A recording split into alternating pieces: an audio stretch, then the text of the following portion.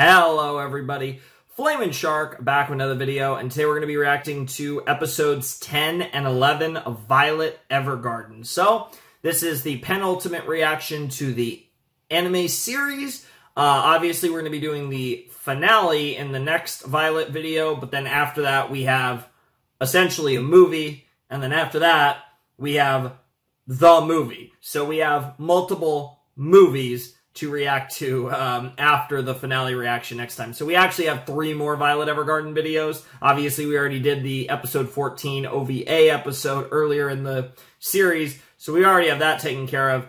But we still have our anime finale and then multiple reactions. So we still have three more Violet Evergarden reactions after this. So we're we're still we still have a little ways to go.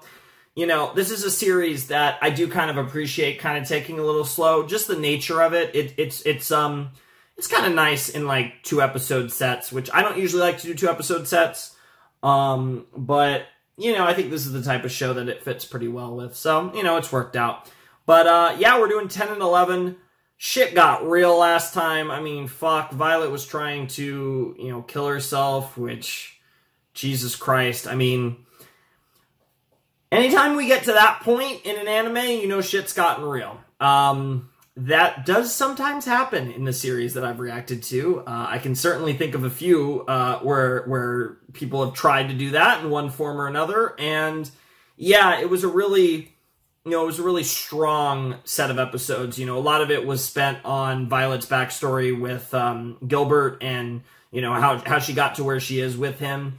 But another thing that was focused on in these episodes was we got to see um, we got to see uh, you know, her struggling to that extent with um, being able to accept, you know, the way she was burning up and being able to carry that weight, so to speak.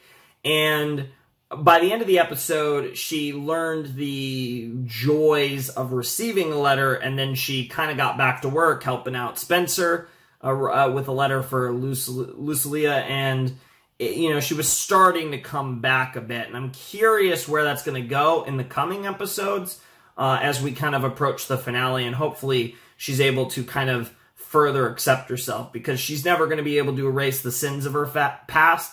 But she that doesn't mean that she can't continue to help people and do good uh, with the rest of her life, which is hopefully where this goes. And I think it is where this is going to go. But it potentially um, I could definitely still see some things getting kind of rough even now, um, between now and the end of the show. So uh, this is going to be a very interesting reaction to say the least. So I'm really excited for this. So um, I, I don't think I have anything else to say. I think it's time to jump in to episodes 10 and 11. Well, first episode 10 of Violet Evergarden. Mm-hmm. Mm-hmm. We'll dance there with my chair as per usual, I feel like, at this point, honestly. Uh, let's jump into episode 10 of Violet Evergarden in 3, 2, 1, and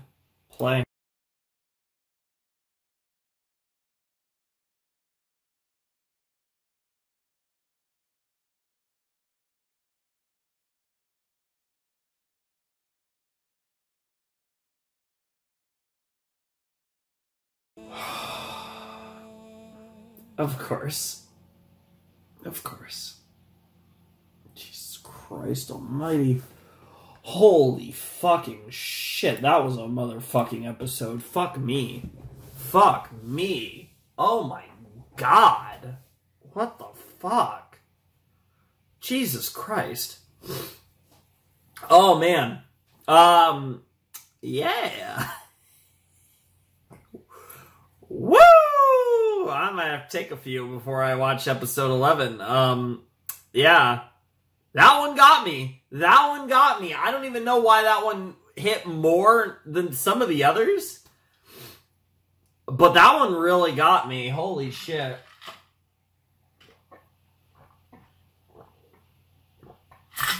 I'm out of water. I need more water anyway, so Oh, fuck. Okay, um, let me try to gather my thoughts a little bit on this one. That was beautiful. I mean, pretty obvious, right? I, I found that episode to be quite beautiful, but that was episode 10 of Violet Evergarden. And that episode was, I mean, a, a tale as old as time. You know, the mother's passing away slowly but surely, and everyone knows it's coming. That includes the kid. And she had a really smart, really beautiful idea that honestly, that's such a great idea. That's an idea that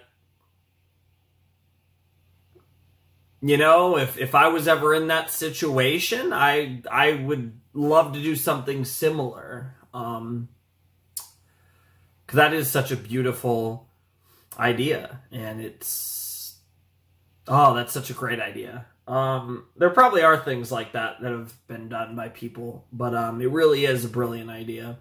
And um it's like it's sad, of course, right? But it's like a it's that happy sad that really tends to get me a lot. Um, and that's the thing, right? Like it's a beautiful sad, I, I guess is the is the tragically beautiful kind of. Uh, it, it, there's like a an uplifting spirit behind it, and, and that's kind of been the case with most of Violet Evergarden. It's it's a sad show, but it's a beautifully sad show it's not really a sad show for the sake of being sad. I guess in that sense, it is kind of a little reminiscent of like Your Lie April.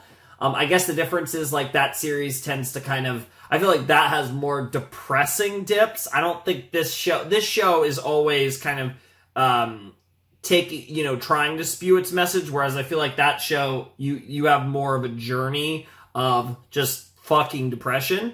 Um, but I guess that would be probably the best comp of the series I've reacted to. I won't say anything more about Your Lie in April because obviously I don't want to spoil it. Uh, if you haven't seen it, it's a good show. Go watch it. I actually own it. Um, I'm not going to bother showing you guys. But uh, yeah, that was a really strong episode. And one of the things that kind of ties this story together, and I mean Violet Evergarden, not this episode, is we're seeing the evolution of her emotional state, her ability to comprehend emotions, her ability to understand the, the human condition. And that's something that's been growing over the course of the series, right? She's growing from a doll into a human.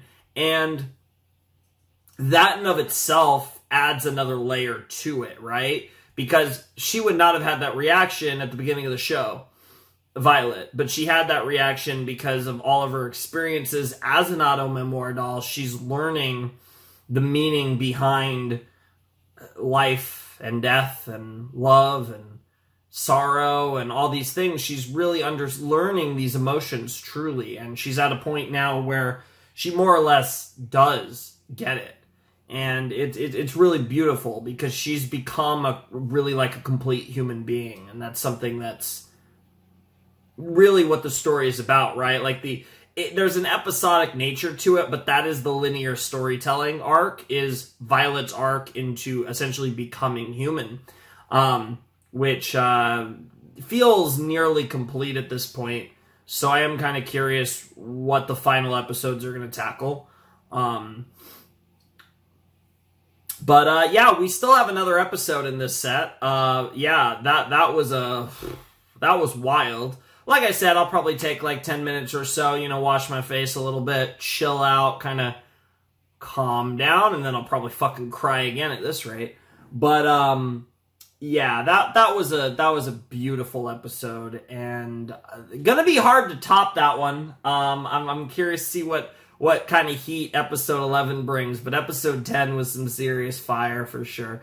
I actually don't think that was one of the best episodes. I think it was a, a, a good episode. I don't know, like, I, I mean, it was a really good episode, actually. I don't want to downplay it. I'm still a little surprised that one got me as hard as it did, but, um, yeah, I mean, it did. That's, that's what matters in the end. It fucking did, so shout outs to them, I guess. But yeah, that was, uh, Violet, Ep- uh, Violet Evergarden, episode 10 and yeah, it had a great message about how to um, about your loved ones and how they'll always be watching you in one form or another, right? And and this was a I think a beautiful recognition of that, a beautiful portrayal of that. So I really appreciated this. I thought that was really sweet, and um, I really like how that one ended between just the, you know, it it was pretty predictable. I feel like, but it was still really sweet, and then also Violet crying at the end was just a nice cherry on top. It just, oh man, that episode just hit perfectly. So yeah, I'm I'm very curious to see what episode 11 of uh, Violet Evergarden has in store for us. Uh, so, yeah, I guess uh, we're just gonna jump right in. I mean, at least for you guys. So, uh, yeah, let's check out episode 11 of Violet Evergarden.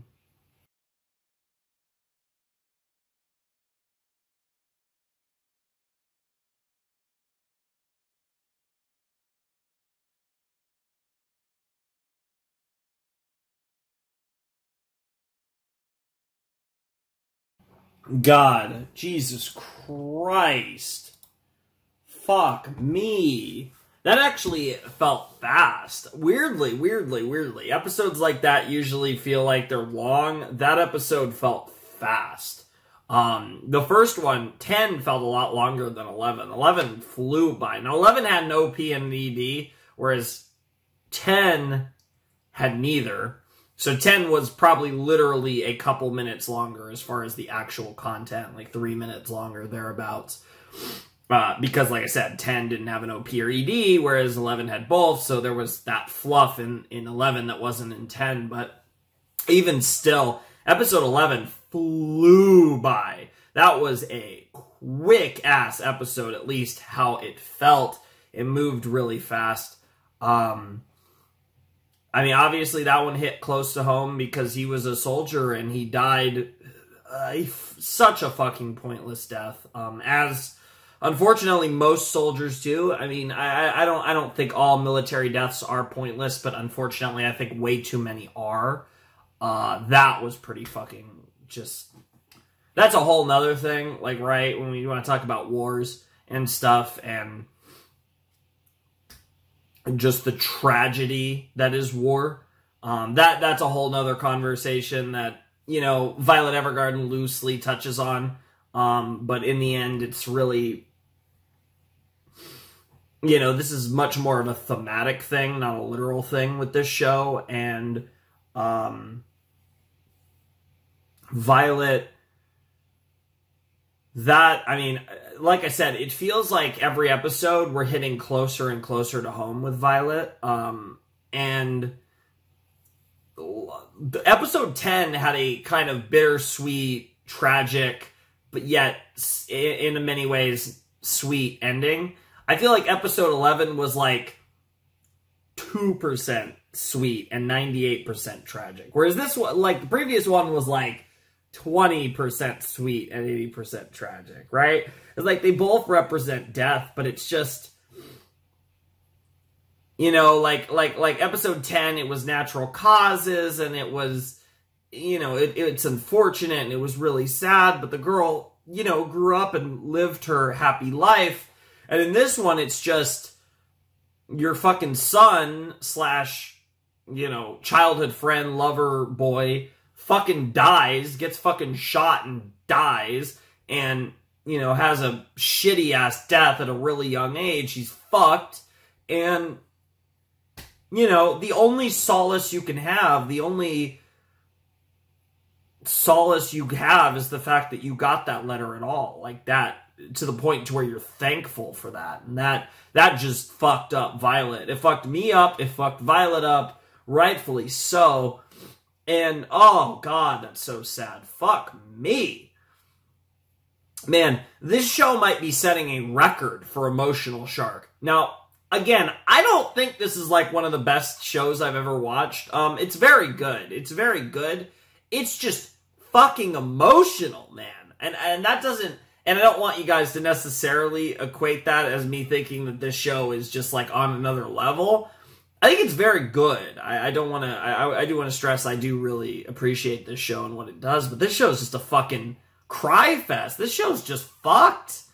Um, God, I've never like I said, I don't remember a reaction series where I was this consistently emotional. Um, I've definitely, I've definitely had reaction series where I've been emotional. I've had you know a lot of finales that I've cried. Um, I think probably the worst I can remember was the Code Geass finale. That fucked me up. Um, but you know, even recently with something like Amphibia, like I got emotional at that finale. A lot of finales get me. Um, this just this is just like basically the whole show. I mean, it's just the nature of the show. It's fucking fucked. And it's like, Christ. I really am so curious what they're going to do with the final two episodes. I, I'm really struggling to piece together what, um, what they're, they have left to do, like what they're going to throw at us in the final two episodes to hopefully end off on a much better note than this penultimate set of the actual series leaves off on. Um, because this was a very rough note, and I'm hope I'm hoping for a rather positive ending. Uh, I wouldn't be surprised if it's more bittersweet than that, but I am very curious to see how it goes. And of course, next time we will be finishing the show Violet Evergarden, but we do have um, we do still have two more uh, Violet Evergarden videos uh, after that. So we, we actually are not done at all because uh, we still have a couple more videos after that, and those will be uh, interesting, I'm sure. But uh, yeah, this was a this was a crazy fucking episode um, of, of of the show. I mean, I think this was the better episode for me. I think God, they were both like just really emotional. Like as much as it like hurt, I, I do kind of like just the. I, I, felt like episode eleven cuts off very suddenly. It just ends, and I really liked that. I I, I don't really remember an episode of Violet Evergarden before this one. Like I feel like all of them have more of a resolution, and even though this one did have its revolution resolution, unlike all the others, this one felt like it just snap of the finger end of episode. This felt like it abruptly cut off in just a brutal way. And, and, and I feel like it worked really well for this episode. And I really liked that about it. But, um, yeah, I mean, shit. What else is there to say? This was, this was a rough set. I mean, not even a set like, I mean, it is a set, but like a pair of episodes. It was just two episodes, but holy shit, was there a lot of craziness, um, I guess I could say, in these two episodes. A lot of um, emotional potatoes that happened in these two episodes. So it was uh, something else, that's for sure. But um, I did really enjoy this set for sure. I mean, both of these episodes were quite the experience to watch, clearly. And I definitely uh, did not have fun, but I definitely enjoyed the episodes. I'm gonna have to make that distinction because this show's not fun. that that's not the description I would use for Violet Evergarden. Um, it's beautiful. It's beautiful to watch in in, in both visually. Um, you know the the music's beautiful. Visuals are beautiful. The characters are beautiful. The fucking the actual show itself is beautiful. Um, but it's not fun. That is one description, one descriptor that I would not use for Violet Evergarden. Um, the character too. The character isn't necessarily fun either. She, uh, you know, kind of didn't didn't quite come out with that uh, that ability. But um, yeah, that was uh, something else, man. And oh baby, um, three more sets to go, but next set will be a finale of sorts because it will be the actual finale, and then we have again the the the, the uh, eternity. I think it's like eternity in the auto memory doll. I think is what it's called, and then the movie. Um, so, like I said, we still have a few more Violet Evergarden videos left.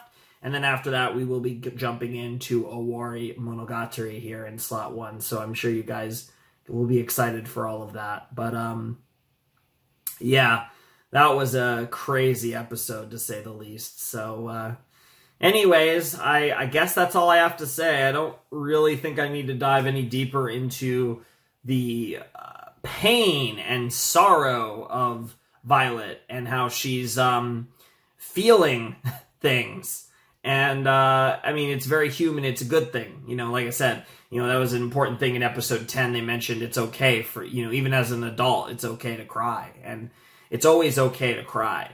Uh, that is a really important lesson. Violet Evergarden is a show that does that quite well, both with its characters and with its audience, um, at least in my case. Um, but it is okay to cry. And that's something that, you know, I, I say for memes, like, oh, I'm not going to cry. But I have nothing against crying when I watch media, and I do sometimes. Um, but yeah, um, I can't even imagine what the next set's going to be like. I mean, I there's no like I want to say there's no way it could be worse than this, but I don't want to say that because then it'll be worse than this. So I guess we'll see. I guess we'll fucking see. Jesus Christ.